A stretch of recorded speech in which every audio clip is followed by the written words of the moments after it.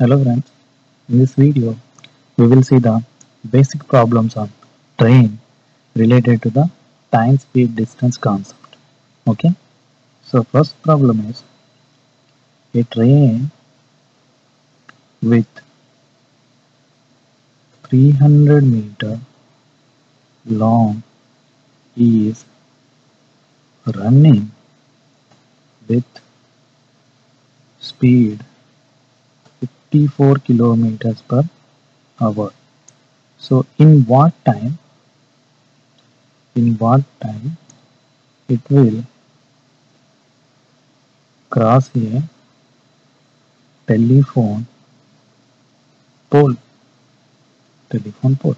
So in the previous video, I told you that if a train is crossing a telephone pole or signal post or standing man or a tree, so then the time to cross that object is given by the length of the train by the length of the train by speed of the train, right?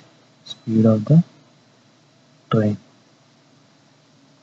So in this case, the length of the train is 300 meters by the speed of the train that is 54.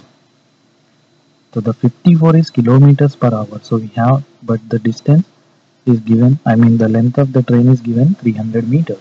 So we have to convert this 54 kilometers per hour to meters per second. So to convert this 54 kilometers per hour into meters per second, we have to multiply this one 5 by 18 right so this is going to be equal to 300 by 54 into 5 into 18 okay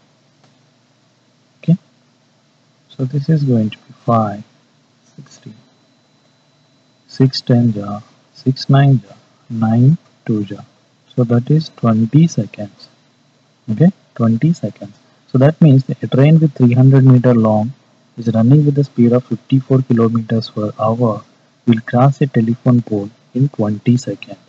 Okay, so let us see another problem.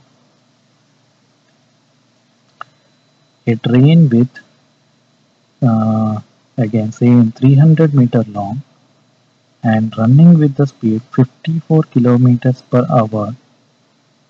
Okay, 54 kilometers per hour. So in what time it will cross a platform of 150 meter long? 150 meter long okay so a train with 300 meter long which is running with 54 kilometers per hour okay so in what time it will cross a platform a platform of length 150 meter. Okay? So in the previous video i have told you that to cross a platform or a bridge or a train in rest or a tunnel so is given by length of the train length of the train plus plus length of the platform or tunnel or train at rest okay? Or train at rest by speed of the train. By speed of the train.